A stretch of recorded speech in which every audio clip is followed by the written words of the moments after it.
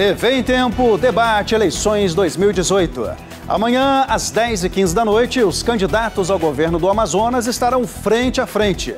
Amazonino Mendes, Berg da UGT, Davi Almeida, Lúcia Antoni, Omar Aziz e Wilson Lima. É a oportunidade de você conhecer melhor os candidatos, tirar suas dúvidas e definir o seu voto.